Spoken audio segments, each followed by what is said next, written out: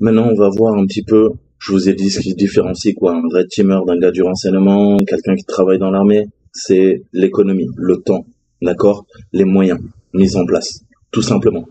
De toute façon, quand vous montez une opération, les ambitions dépasseront toujours les ressources disponibles, d'accord? On vous alloue un budget, que vous travaillez dans le civil ou dans le monde militaire. Ce budget, eh ben, ça va être euh, la contrainte de la réalité. D'accord? Donc ça va tempérer vos ambitions. Vous allez vous dire, ah ouais, euh, super, je vais aller, euh, vas-y, choper 50 bunny de Hack 5 et ça va coûter très cher. On va les, on va les balancer un peu partout. Hein, à l'accueil, je te dis, dans le parking. C'est pas grave, je vais même côtoyer des gens, je sais qu'ils vont dans un bar après le boulot et je vais laisser traîner des clés, je vais, je vais essayer de trouver une solution. D'accord? Je vais approcher des cibles. Ok. Mais, qu'est-ce que je te dis Toutes les ambitions sont tempérées par les contraintes de la réalité. Donc, qu'il s'agisse de trouver des filtres, euh, des cibles, pardon, d'exfiltrer plus de données ou de pivoter, d'améliorer sa position au sein du réseau, il y a toujours plus à faire et pas assez de ressources pour le faire. On va parler des ressources. Hein, ressources, tu penses tout de suite argent, personnel. Non, il y a une ressource que tu oublies, et je te le répète tout le temps, c'est le temps. D'accord? Donc la compréhension de ces contraintes est primordiale pour construire un cadre, un framework offensif. Hein, tu travailles en offensive, tu fais du red teaming. Les types de contraintes de ressources sont constantes et dans différentes opérations. D'accord? Bien que la ressource la plus rare varie considérablement d'un jour à l'autre, d'une opération à l'autre. Alors on va parler un petit peu du temps, justement. Il faut du temps pour mener à bien toutes les étapes d'une opération, d'une cyber-opération. Et c'est essentiel pour presque tous les objectifs. Découvrir une cargaison de drogue deux mois trop tard, c'est pas particulièrement utile. Pourquoi? Parce que t'as merdé. Pourquoi j'ai merdé? Mais parce que la cargaison de drogue, c'était pas deux mois qu'il fallait la récupérer. Tu devais l'intercepter. D'accord? Donc tu vois bien que tu as, failli à tes objectifs. Les objectifs principaux, c'était d'intercepter cette cargaison de drogue. Qu'est-ce que tu as fait? Tu l'as trouvé deux mois plus tard. Ben, en fait, on est hors sujet là. D'accord? Tu comprends bien? Donc c'est pareil. C'est tes objectifs qui vont déterminer les besoins et les ressources allouées à la mission. Le temps que l'attaquant peut passer à une cible spécifique ou sur un aspect d'une opération est limité. Le temps sera toujours ton pire ennemi. Le temps limite le développement des capacités offensives et l'accumulation d'expertise. Tu fais également du renseignement, d'accord? Tu rentres dans un système, tu le connais pas. Il y a, y a, des frameworks, des cadriciels, il y a des solutions qu'il va falloir apprendre, ok? Il va falloir que tu fasses du renseignement, que tu comprennes comment contourner ça, que tu ailles voir des white papers, que tu récupères les manuels, que tu récupères tous les manuels d'exploitation, d'accord?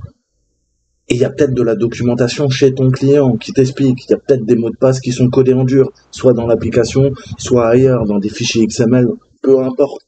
Peut-être même dans la documentation du constructeur, s'ils n'ont pas changé les mots de passe, tu vas récupérer des mots de passe. Mais tout ça, c'est, c'est reco et c'est recueil d'informations.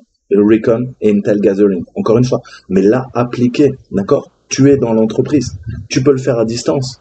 Ok, côté cyber. Mais, mais quand tu es dans l'entreprise, n'oublie pas que tu peux aussi aller récupérer des documents. Hein. Fais-toi passer pour le gars technique et, voilà. Hein, je voudrais avoir le manuel là. Je sais pas, j'ai un problème avec le FortiGate. Euh, j'ai besoin de faire une opération puis euh, j'ai pas les infos. Quelqu'un aurait euh, des, des, des, procédures, euh, des dossiers de production, d'exploitation. Je peux avoir de la documentation technique s'il vous plaît? Ok? Donc le temps affecte le développement et l'utilisation de tous les autres ressources. Et ça constitue donc la contrainte la plus importante. La capacité de ciblage. Le ciblage est souvent fait souvent partie euh, et c'est la plus difficile, la plus coûteuse d'une opération. D'accord? C'est le targeting. On peut nécessiter toutes les sources du renseignement qui identifient collectivement les informations sur la structure politique, économique ou militaire d'un pays quand on mène des opérations de grande ampleur. D'accord? Quand on rentre là dans soit des hackers étatiques, soit des gens qui travaillent pour notre pays. Bien que beaucoup soient disponibles sur Internet, beaucoup ne l'est pas. Hein, encore une fois, on a ce distinguo, cette dichotomie entre le CSINT et l'OSINT. L'open source, les sources blanches, parfois grises, et les sources noires. D'accord?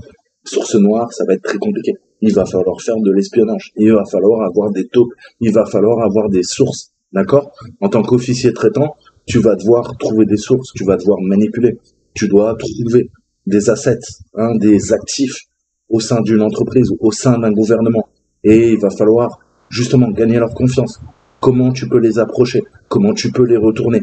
Tout ça, c'est des questions que tu dois te poser. Alors nous, en Red Teamer, c'est pas c'est pas les mêmes vecteurs d'attaque, c'est pas les mêmes objectifs, d'accord? On fait ça pour une entreprise, on n'attaque pas un pays, un pays belligérant ou pas, d'accord? Mais à l'échelle d'une nation, voilà ce qui se passe. Dans certains cas, ça peut nécessiter la collecte des ressources de renseignement d'un État-nation. Encore une fois, je vous donne des procédures de la CIA, de la NSA, d'accord? Donc, bien sûr, il faut qu'on en parle, d'accord? La collecte de ce type d'informations n'est pas la seule compétence requise. Une fois rassemblée, le ciblage peut nécessiter des linguistes, des analystes, une expertise technique, des experts en matière dans le domaine de la cible. D'accord? C'est pour ça que on demande des doubles compétences dans le renseignement. On a besoin de linguistes, je vous l'ai dit, on a besoin d'analystes, d'analyse du renseignement. Eux, ils traitent la donnée. D'accord? Ils en font des synthèses, ils font des notes blanches qui sont redirigées ensuite au pouvoir décisionnel. On a besoin du take it, Tekin, c'est Q, ok? Dans James Bond. Tu sais, il est avec sa blouse blanche et il travaille, il fait du R&D, d'accord? La recherche et développement. On a constamment besoin de recherche et développement, tant en termes de militarisation nos payloads, on fait des cyberattaques, mais on doit également connaître, connaître comment euh, soit défendre, soit attaquer. D'accord? Et des matos. Il nous faut récupérer des routeurs américains si tu veux t'infiltrer dans les routeurs américains. Il faut les acheter il faut les analyser, il faut faire du reverse engineering, il faut les démonter pour comprendre, voir s'il n'y a pas des mouchards, comment fonctionnent les puces, d'accord? Faire des analyses en très bas niveau, ça c'est toute l'expertise technique, d'accord? Et la technique, elle est partout. La technique, c'est en termes linguistiques, c'est euh, est-ce que tu es capable de parler Pashtun? Tu comprends la culture Pashtun? Tu sais ce que sont les Pashtun Tu es déjà parti en Afghanistan? Il nous faut des analystes qui vont traiter l'info, qui vont raffiner le big data. Je te dis, t'as, ok, tu as, des moteurs de recherche comme on la NSA, d'accord? On va faire de la recherche sémantique, textuelle et tout ça. Mais après, qui fait les synthèses? C'est un cerveau humain, d'accord? On a besoin d'analyse du renseignement. On a besoin d'officiers traitants qui vont traiter les sources sur place, sur le terrain. Et on a besoin d'expertise technique. Et dans chaque domaine, il nous faut des experts. Par exemple, si les attaquants veulent voler une banque saoudienne, bah, ils ont besoin de maîtriser l'arabe et d'avoir une connaissance détaillée du fonctionnement des transactions financières. Tu sais comment ça fonctionne le réseau Swift? Tu sais ce que c'est Swift? Tu as appris. Tu sais ce que c'est une holding. Tu sais ce que c'est une chambre de compensation. T'as déjà entendu parler de Clearstream? C'est quoi les boîtes noires? C'est quoi les dark pools? Tu sais ce que c'est en finance les dark pools? Tu connais les circuits financiers? Tu connais les circuits primaires? Tu connais les circuits secondaires? Je suis pas sûr. D'accord? Eh ben voilà. Quand tu es un analyste du renseignement, on t'apprend tout ça. On a tous un domaine de compétences. D'accord? Et certains, c'est l'informatique, certains, c'est les langues, certains, c'est la technique, certains, c'est tout ce qui est financier, fiduciaire. D'accord? Tu dois tout le temps suivre l'argent quand tu t'intéresses à ta cible. Donc tu as un accès complet au réseau de la banque, mais si tu comprends pas le, le principe des transactions financières, les réseaux par lesquels elles transitent, notamment Swift, et si tu maîtrises pas l'arabe, eh ben, ça va être très compliqué. La choukran.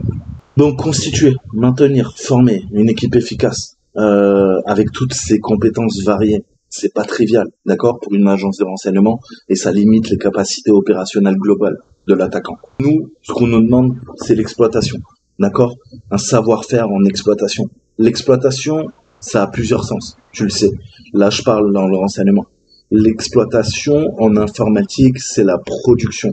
D'accord Tes systèmes d'information te permettent de garder une information. D'accord? Ça permet le bon fonctionnement de ton activité et tu as ce qu'on appelle des serveurs de production. Quand tu supervises ces infrastructures, ces systèmes d'information, tu supervises la production et tu es un analyste d'exploitation. D'accord? Alors ça, faut pas comprendre. Ça, c'est l'exploitation informatique en effet. D'accord? C'est la mise en œuvre de moyens informatiques pour assurer la pérennité d'une entreprise, son bon fonctionnement intrinsèque via des moyens informatiques. D'accord, ok, ça pas de problème. Mais l'exploitation, nous, en tant que hackers, ça a un autre sens. L'exploitation, c'est le piratage. D'accord? Et ça va bien plus loin. L'exploitation, c'est la capacité de trouver est d'exploiter des vulnérabilités dans les programmes logiciels, des dispositifs matériels ou des configurations réseau. Cette expertise est requise lors du photo de l'accès initial sur la machine. On a besoin de connaître les techniques de persistance et comment on va s'étendre, le principe d'expansion, pivotement au sein de, du réseau, des machines, d'accord? Mouvement latéral. Et sans expertise en exploitation, l'attaquant ne peut même pas effectuer l'opération la plus élémentaire. Tu comprends bien que je t'ai dit qu'à un très haut niveau, qu'est-ce qui différencie Toto le hacker de quoi? D'un bon red teamer? D'un gars qui bosse dans l'enseignement Eh ben, c'est peut-être son niveau d'expertise. C'est son niveau de compétence. D'accord? Donc l'expertise en exploitation nécessite une connaissance détaillée de bas niveau des langages de programmation. Je vous ai dit, on ira attaquer toujours l'assembleur. C'est la clé de voûte pour des opérations militaires. D'accord? On, fait abstraction de tout ça. Si j'arrive à attaquer, je t'ai dit, minimum, c'est quoi? C'est le ring 3, le SSM. Et après, on va aller taper ring 4, ring 5. D'accord? On fait des opérations militaires. Et comme ça, on contourne tous les systèmes de protection. D'accord? Et tu accèdes à des SOC, tu accèdes à des systèmes qui ont leur propre pile TCP, qui sont totalement furtifs. D'accord? Tu deviens résident dans le système. Les bases, bootkit, rootkit, cela nécessite de comprendre les compilateurs, les gestionnaires de mémoire. C'est quoi du garbage collector? Les structures de données. D'accord? Les types de données. C'est quoi tout ça?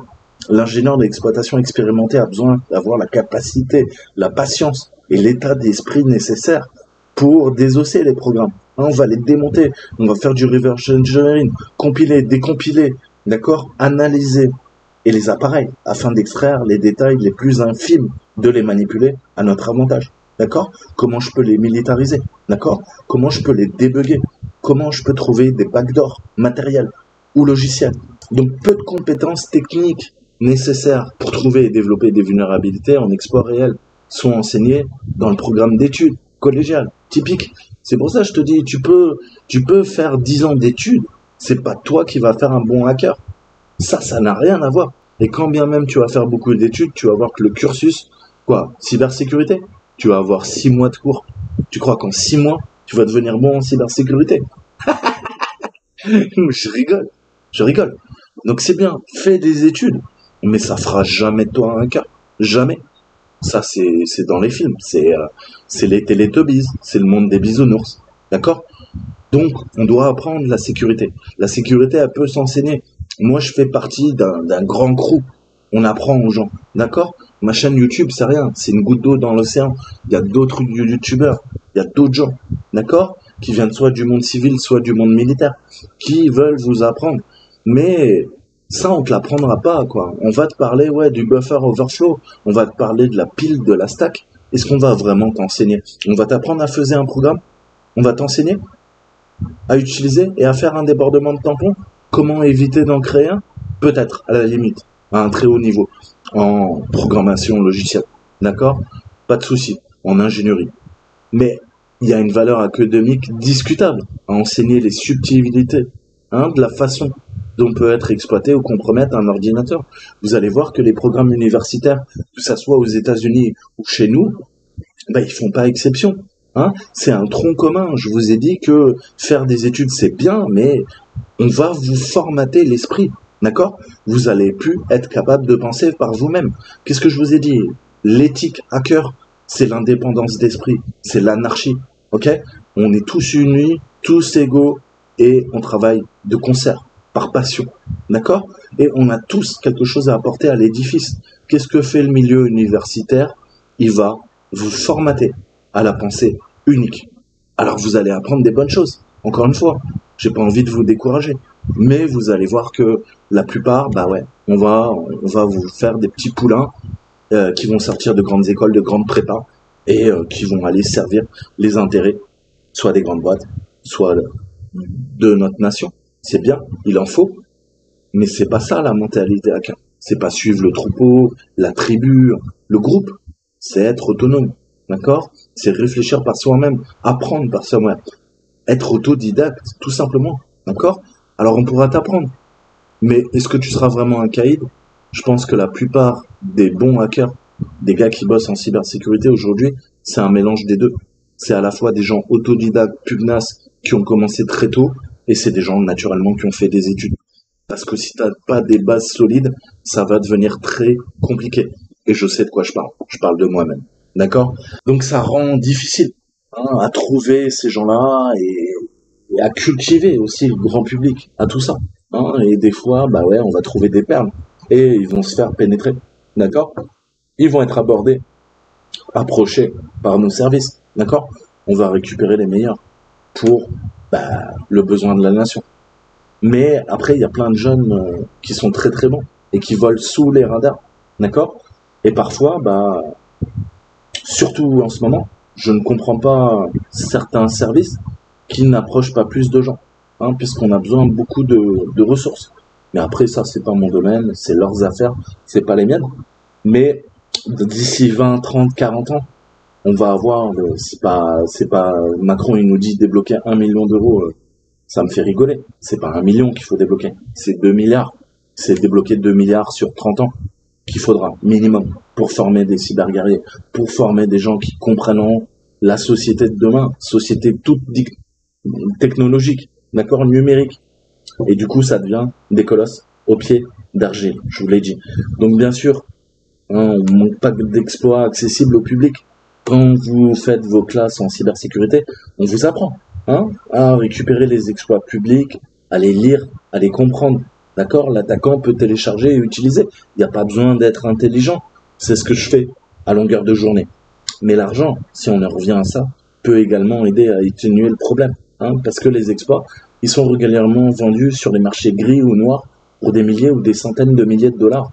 Alors on a très souvent tendance à croire que quoi? Les meilleures agences de renseignement développent leurs propres exploits, c'est vrai, mais euh, si vous avez une contrainte de temps, bah, les agences de renseignement, ce qu'elles vont faire, elles vont aller sur le marché noir acheter des cyber des 0D. Ok? Voilà. Et euh, je mets au défi qui que ce soit de me prouver le contraire. Ok? Donc l'expertise d'exploitation, soit en interne, soit à les copier, à les donner, à les acheter, peu importe. Le but, c'est de parvenir à ses fins. D'accord? C'est le but qui prime. Peu importe les moyens, la fin justifie toujours les moyens. D'accord? Ça, c'est encore plus vrai dans le renseignement. C'est une ressource précieuse, nécessaire à toutes les opérations. Expertise en réseautage. Ah, il paraît que ouais, c'est un mal nécessaire. L'expertise en réseautage, c'est la compréhension approfondie de la myriade de technologies utilisées pour construire, exploiter, gérer, surveiller un réseau informatique. Il est nécessaire tout au long d'une opération, mais surtout au niveau de l'accès initial, de quoi? De la phase d'exploitation, d'expansion et d'exfiltration. Désormais, les attaquants ne bénéficient généralement pas de schéma de réseau ou de configuration pour les guider, que les attaquants vont devoir disperser ce qu'on appelle le brouillard, le brouillard de guerre, le fog of war. Le fog of war t'empêche de visualiser les tactiques, les techniques, les procédures de l'ennemi, t'empêche de visualiser le placement des troupes en présence, hein, dans un environnement 3D sur le champ de bataille. Tu dois envoyer des éclaireurs, des scouts, d'accord Faire du renseignement pour connaître les positions ennemies. Et ça, ça dissipera le brouillard, le brouillard de guerre, le fog of war. Bien qu'initialement ignorant de leur environnement, ils doivent trouver un moyen d'établir une communication en toute sécurité, de persister, de s'étendre, de parcourir, de rechercher un réseau, tout en restant cachés. L'un des objets de leur recherche sera certainement des diagrammes de réseau pour faciliter tout ça. Ces tâches, en fait, elles nécessitent une compréhension approfondie des réseaux. Les réseaux cibles peuvent aller de quelques appareils connectés dans une petite TPE, PME à un ensemble via un seul commutateur à des milliers d'ordinateurs ou à des centaines de commutateurs, d'accord, qui s'étendent sur plusieurs continents. Donc attention, switch, relais, euh, et, voilà, réseau, réseau virtuel, euh, routeur, il va falloir en bouffer. Hein, les technologies impliquées peuvent s'étendre sur des décennies. Des anciens ordinateurs, parfois hein, sans trous, décrépits. On a des mainframes des années 70, hein, je l'ai vu dans certains clients, chez certains clients. D'accord? Et est-ce que tu es capable encore de coder en Fortran? Tu, tu, sais comment attaquer du Fortran? Un truc qui a été développé, euh, quoi? Dans les années euh, fin 60 Enfin, fin 50 même, je crois, c'est en 58, par une brillante femme. Honnêtement, euh, moi, je sais pas. Hein? Donc voilà, c'est pour ça qu'il nous faut tout un panel d'informaticiens. il nous faut des jeunes loups de 20 ans et il nous faut des vieux cons comme moi, un peu plus vieux. 20 ans, plus 10, plus 10. Plus 10, plus 10, plus 10, plus 10, plus 10, plus 10. Euh, ok Il nous faut en fait de 10 à 90 ans des gens qui soient brillants, qui soient formés sur serveurs d'applications et qui connaissent toutes les techniques. D'accord? Ça demande une grande variété en fait. Hein. C'est pour ça que Mr. Robot tout seul, lui, connaît tout. Euh, ouais, ouais, ça reste Hollywood, hein. même si c'est une très bonne série. Donc les attaquants doivent rapidement prendre leurs repères et agir. L'expertise en réseau crée la capacité d'envisager des mises en page, des mises en forme, des configurations, des politiques ou des pièges potentiels. Hein, on appelle ça des tripwires plausibles à partir de peu d'informations. Donc il est essentiel d'exploiter efficacement un réseau. Donc dans ce cas-là, ça passera par du renseignement, d'accord, opérationnel, avec toute la documentation que vous pourrez trouver en ligne, in situ, sur site, comment vous pouvez soudoyer des gens de l'entreprise pour récupérer de nouvelles informations, d'accord? Et très souvent, vous voyez que pour mener une attaque d'ampleur, il vous faudra des gens in situ sur le site et des gens dans le cyberespace. Et ça va être un binôme. Eux vont travailler sur le terrain physique, vous, vous allez travailler sur le terrain du cybermonde, de la cyberguerre. Tout est cyber, tout est virtuel, d'accord? Mais les interactions sont conjointes. On mêle opération cyber avec des espions sur le lieu conjointement, d'accord? C'est un travail d'équipe. L'expertise en développement logiciel, pareil, il va falloir apprendre à coder Hein, c'est la capacité de développer, débugger, maintenir, d'étendre, de tester des logiciels personnalisés de qualité.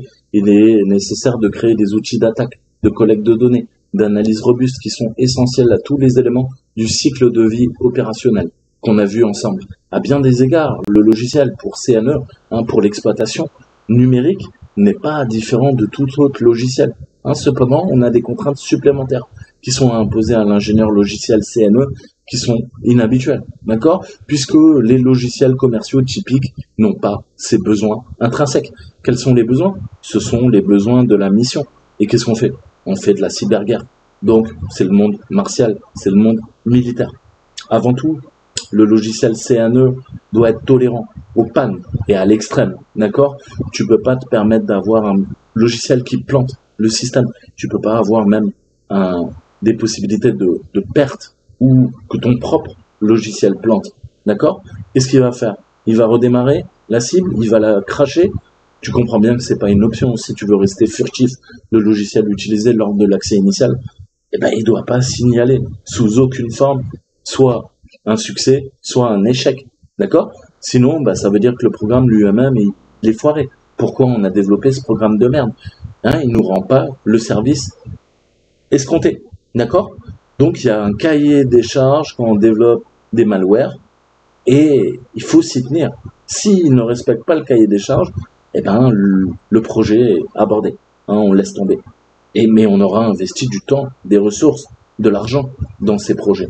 D'accord? Donc il s'agit d'un autre problème. Mais encore une fois, c'est pareil. Tu dois pas te faire gauler. C'est le même principe quand tu es red teamer. Tu n'as pas envie que les équipes comprennent qu'on est en train de lancer une cyberattaque. C'est le jeu de la poule ou de l'œuf, hein, comme disent les Anglais. Et euh, voilà, de temps en temps, bah, ça sera la poule, elle a pas besoin de l'œuf, et de temps en temps, bah, as besoin de l'œuf. Mais l'œuf, tu l'as pas sans la poule, d'accord? Donc il faut trouver des combinaisons qui fonctionnent.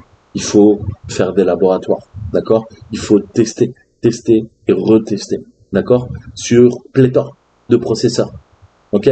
Pléthore de marques, pléthore d'architecture, parce que ton logiciel doit être à 100% fonctionnel. Tu vas te retrouver un jour à attaquer une architecture et ça a marché pendant 27 opérations et la 28e opération, tu l'as dans l'os. Tu es en train de cracher un système. Le logiciel CNE doit être également très efficace et consommer peu de ressources informatiques ou de bandes passantes. Encore une fois, ça sera des, des patterns hein, qu'on viendra repérer. C'est des indicateurs de compromission. Il n'y a pas d'affichage d'un sablier ou d'une roue qui tourne hein, pour indiquer que l'ordinateur peut être lent pendant un moment ou que la tâche se termine. Tu comprends bien, d'accord? Les moindres accros dans les performances pourraient pousser un utilisateur à enquêter.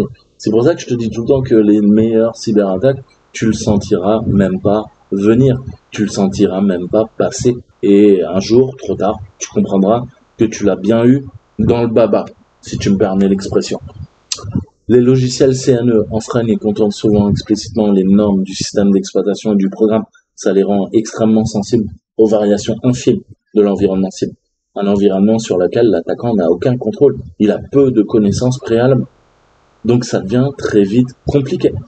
Ça élève considérablement la barre, hein, le, niveau d'exigence au niveau des tests, même des choses triviales hein, auxquelles on ne pense pas, comme l'utilisation de la mémoire peut affecter certains outils qui auront été développés. Enfin, peut-être la plus grande différence, le logiciel CNE doit fonctionner, même si d'autres programmes sont spécifiquement conçus pour le contrôler. Bien que les développeurs de logiciels commerciaux puissent faire face à des incompatibilités, aucun ne s'inquiète des logiciels spécifiquement conçus pour les rechercher et les détruire. D'accord? Donc j'exagère un peu, mais les fournisseurs de sécurité défensive font face à un même problème tout comme les ingénieurs qui créent des systèmes de licence logiciels. Ces efforts de développement de logiciels sont directement attaqués par une CNE, d'accord? Et aussi par la communauté des hackers, des pirates, respectivement. Quoi qu'il en soit, résister aux attaques directes au CNA, c'est un état d'esprit différent qui nécessite d'être cultivé dans l'ensemble. Une forme spécialisée, souvent limitée d'expertise en développement de logiciels est nécessaire pour créer les outils utilisés dans tous les aspects d'une opération. Sans cela, les capacités opérationnelles stagneront et au fil du temps deviendront complètement inefficaces. Donc le savoir-faire opérationnel, et on, on a quasiment fini pour la partie attaque. Je vais parler un petit peu de l'expertise opérationnelle qui est essentielle pour soutenir de manière créative les opérations face à l'adversité. Si les opérations étaient simples et l'expérience sans valeur, les attaquants auraient depuis longtemps complètement automatisé le processus. Les parties les plus faciles ont, en fait, déjà été automatisées. Au contraire, les opérations sont compliquées et nécessitent des décisions actives allant du trivial au changement radical.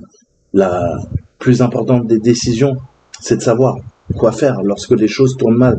Vous devez avoir ce principe de situational awareness, d'accord? Vous devez être conscient de votre environnement, le logiciel tombe en panne. Le réseau n'est pas configuré comme prévu. Le plan, le plan qu'on avait prévu échoue. Qu'est-ce qui se passe? Plan A. Ça marche pas, plan B. Ça marche pas, plan C. Ça marche pas, plan D. Etc., etc., etc. Vous devez tout le temps avoir un plan de secours. D'accord? Un plan pour l'infiltration, un plan pour l'exfiltration, un plan pour l'exploitation, un plan pour la post-exploitation. Ok? Un plan pour commencer votre foothold, votre gain d'accès initial et le pivot sur le réseau, sur les machines, sur les comptes. Déplacement latéral, déplacement vertical. D'accord? Mouvement. mouvement. La clé de la réussite, c'est le mouvement. Jamais rester. Si vous devez rester résident, c'est que vous avez besoin de récupérer de nouvelles informations. D'accord? Mais plus vous allez vite et vous prenez le chemin le plus court, moins il y a de chances qu'on vous détecte. D'accord? Plus vous restez résident dans le système, puis il y a de chance qu'on vous trouve. Donc le logiciel de collecte a échoué et il n'y a rien qui m'indique. Ok? Est-ce qu'il a été trouvé? Peut-être il a été supprimé. Il y a peut-être une incompatibilité qu'on n'avait pas testée. Est-ce que je dois redémarrer mon outil? Hein? Est-ce que je pousse l'ordinateur au redémarrage? Tant pis. Ok?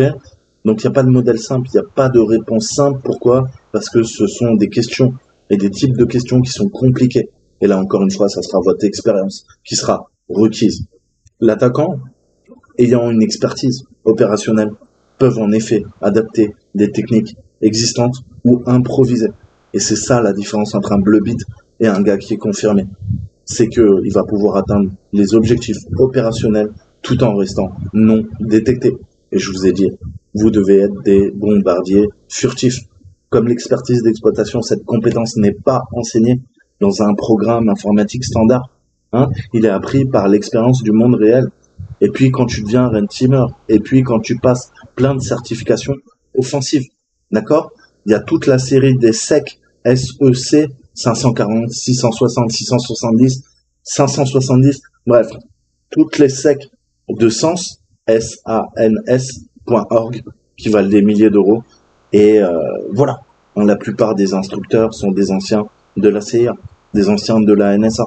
On travaillait pour l'armée de l'air, on travaillait pour les forces spéciales, on travaillait pour les Marines, etc., etc.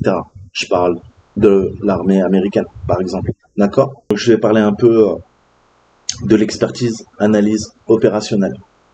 L'analyse opérationnelle, elle est exploitée pour diriger chaque étape et chaque mouvement de l'attaquant, chaque étape du cycle vie de notre opération.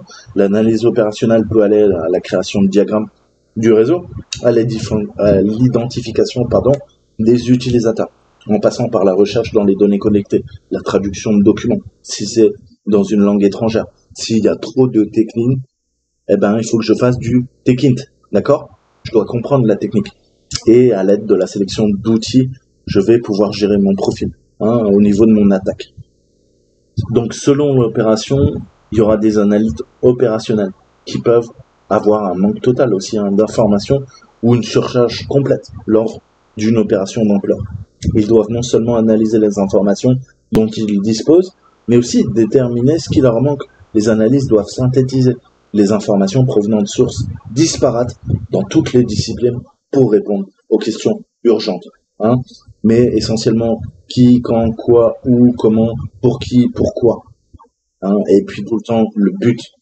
Le but, les moyens pour y parvenir et le facteur temps. D'accord? Tout ça, une mission, ça se monte.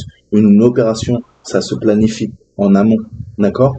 Le but, c'est d'évacuer tout au maximum les, les impondérables, hein, réduire au maximum les impondérables. De par leur nature, les impondérables portent bien le nom. Tu ne peux pas savoir quand est-ce que tu auras un impondérable. Mais si tu planifies en amont et tu dois monter ta mission, eh ben, elle sera, il faut que ton plan soit parfait.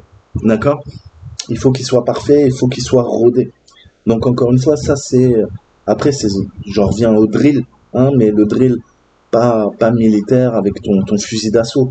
Le drill en termes de stratégie, de tactique, d'accord? C'est-à-dire vraiment euh, une opération doit se dérouler sans accroc. Il faut qu'il y ait, c'est comme une danse, d'accord? C'est comme une danse, c'est comme une musique, d'accord? Tu dois, tu dois apprendre à danser, être dans le rythme, ok? Mener une opération, c'est un rythme, ok? Tu dois gérer ton tempo, d'accord? Et, et danser avec grâce. D'accord? Ça, ça s'apprend, mais ça vient avec le temps. Ces simples questions sont cruciales pour la pérennité d'une opération. Pour y répondre, il est peut-être nécessaire de comprendre les finances de la cible, son accès à de nouveaux équipements, son historique de mise à jour, ou encore le tempérament, même des administrateurs système. D'accord? Et c'est pas une tâche simple, ça demande des capacités. D'accord? C'est pas que du singing, c'est pas que de l'humint, c'est pas que de l'élin, du commit. D'accord? C'est pas que du hacking, d'accord? C'est tout un faisceau de compétences pour cibler, cibler le réseau, cibler la cible et comprendre les individus. Parce qu'encore une fois, on sous-estime, je te l'ai expliqué, le facteur humain.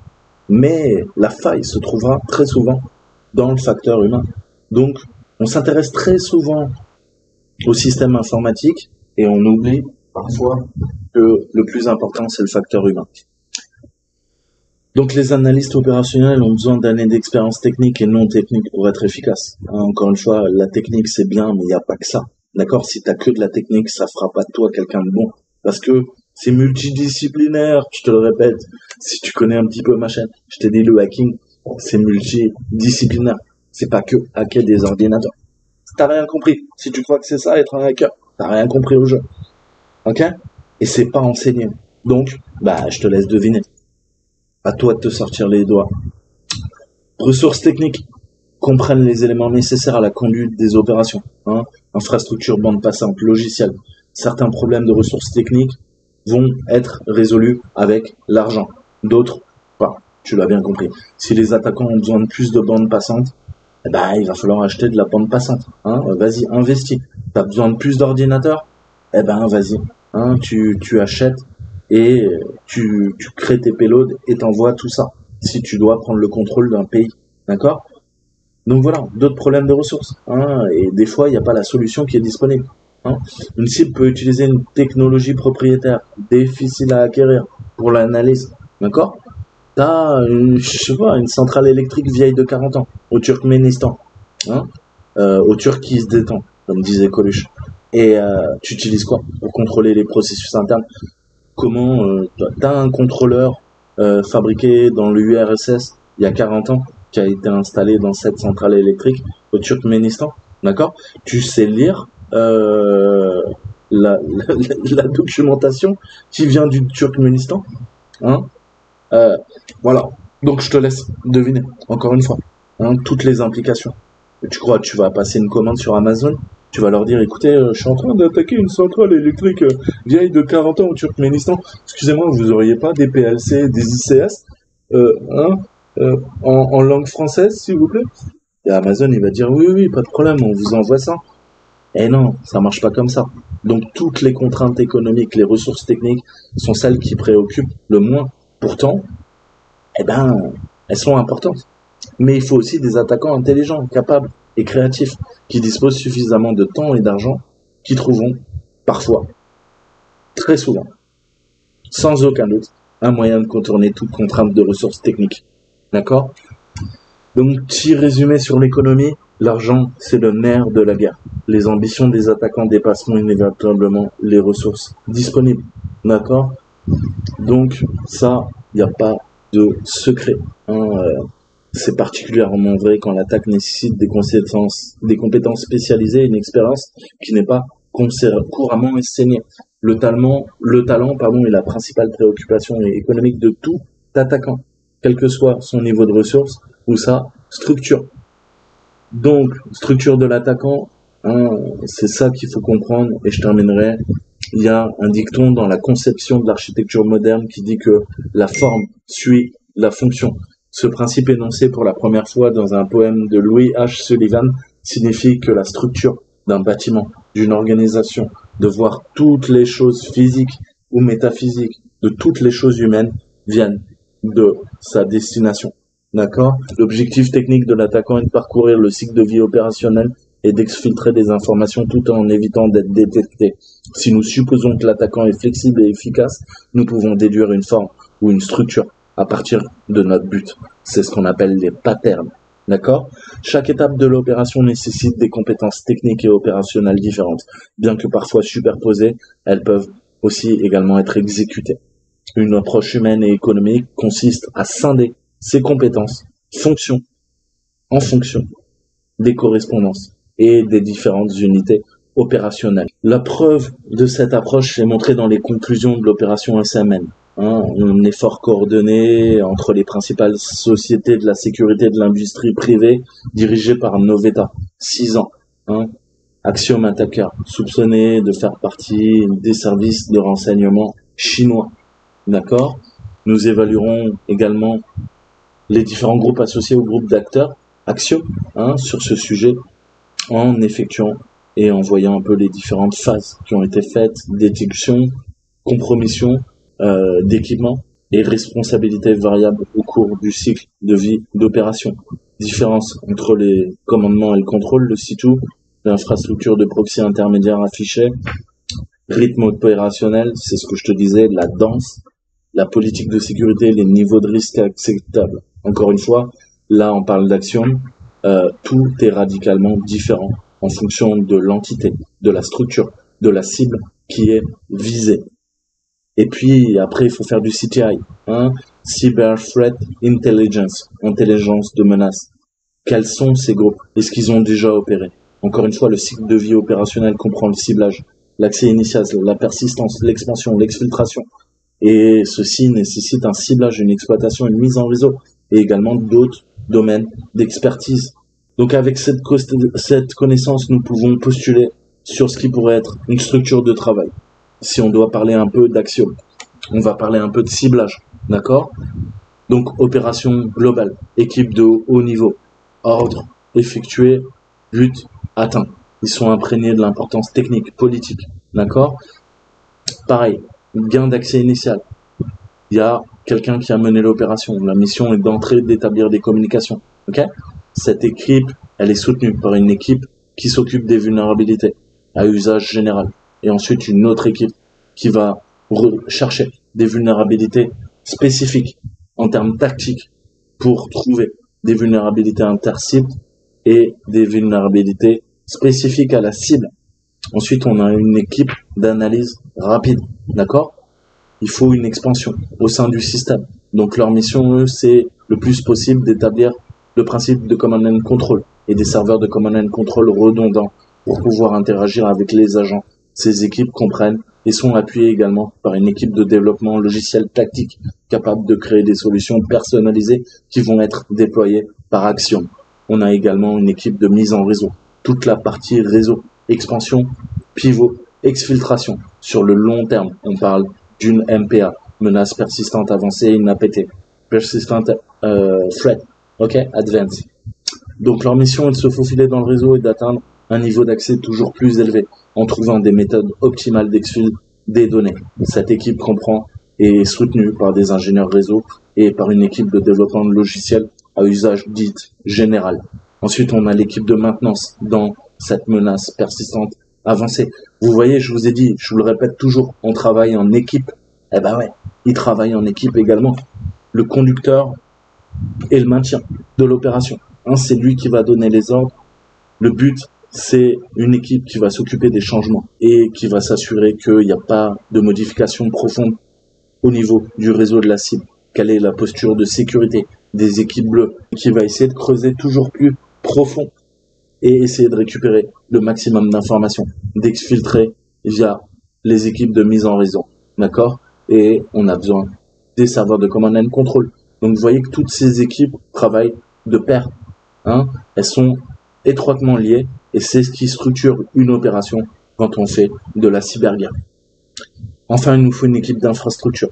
Ça va être les responsables qui vont s'occuper de la recherche, de la compromission, de la maintenance également des vecteurs d'attaque pour la persistance, pour continuer à attaquer domaine, messagerie, site euh, web viable, d'accord? Faire des attaques de supply chain, infrastructure de command and control, points d'exfiltration qui sont transitoires vers d'autres serveurs. On va passer par toute une architecture de noms de domaines usurpés, volés, euh, et on va camoufler nos traces via des serveurs mandataires, via des proxys. D'accord? On va attaquer des cibles qui n'ont rien à voir avec notre cyberopération pour pouvoir exfiltrer les données. D'accord? Pour masquer nos traces.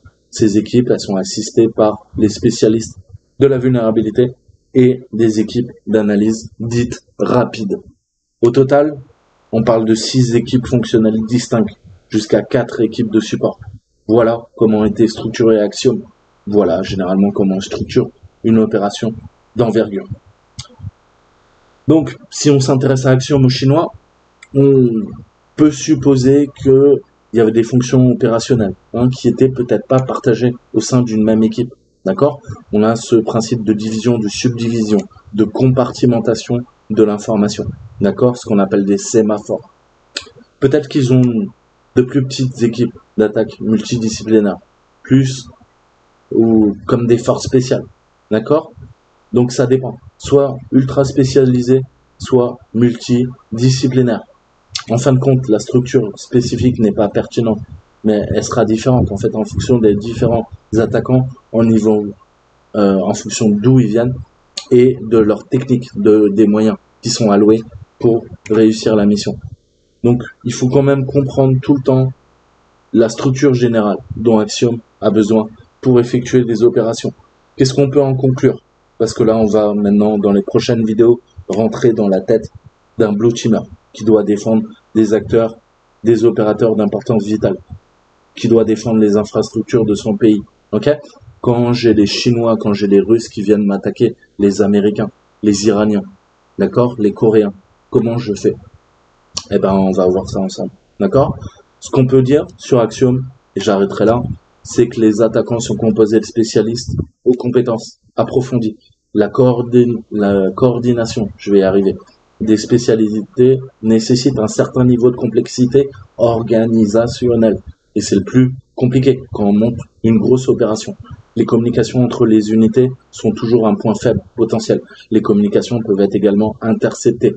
D'accord? Étant donné que l'attaquant est humain, a des rythmes différents, des tolérances au risque, hein, tolérance euh, au stress, manque de sommeil, outils, expertise, leadership, encore une fois, les unités peuvent parfois faire des boulettes. Hein, ça va conduire inévitablement à une mauvaise communication et naturellement à des erreurs potentielles en termes tactiques, en termes stratégiques, en termes opérationnels.